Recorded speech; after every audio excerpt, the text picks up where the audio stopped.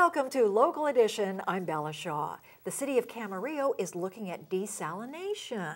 Camarillo Mayor Bill Little joins us, and of course, we're not talking about the ocean water. We're not talking about ocean water. That's, that's a very expensive proposition. Very there. expensive. We are talking about underground water that is not drinkable.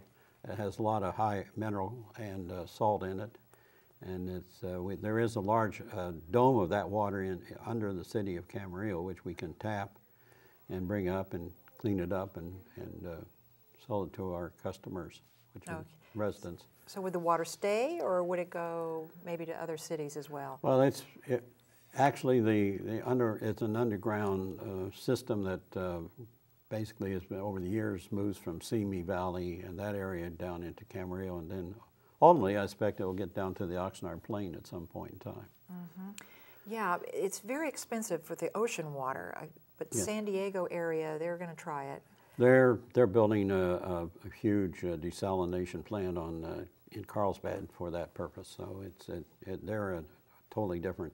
This will be uh, actually uh, based upon what is being what the state uh, water system charges today for water to the to people like ourselves, and what we buy it for. Uh, desalination would be very competitive. In fact, it may be cheaper. So it's going to be interesting to see if yeah, that's well, a we, we've got to get through the regulatory process, and that's always a, a trick with uh, when you come to water in California. So. it's a trick. Water's becoming liquid gold around here, isn't it?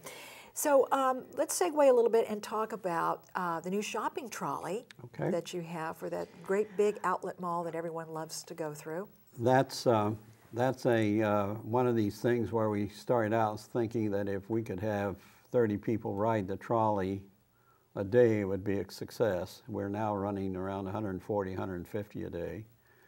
And some days we can't get all the people on it, uh, but uh, so it's been a, a, tremendous success. And we, we uh, this trolley runs on a fixed schedule. It's free. It doesn't cost you a dime. You can pick it up on any of the shopping centers where they stop at, or at the uh, Metrolink uh, station in Camarillo. And there's eight shopping centers that it makes a, a, a round trip in, an, in, a, in, about an hour, 30 minutes to an hour. And then you can get off in any place and then wait. And when it comes back again, you can get back on and go back uh, either to more shopping centers or to, and it's, in, it's a project that's in cooperation with the Chamber of Commerce, the University of Channel Islands, because it allows their students to come up, park and at the ah. Metrolink, get a, and then go to the shopping centers. Uh, allows them to take a bus up and get on the trolley and then go to the shopping center. So it's it's really working out well for for everybody, and we're very pleased with it. And we uh, we are looking forward to it having it continue, and particularly uh, over the, um, the, coming holiday season. Which will yeah.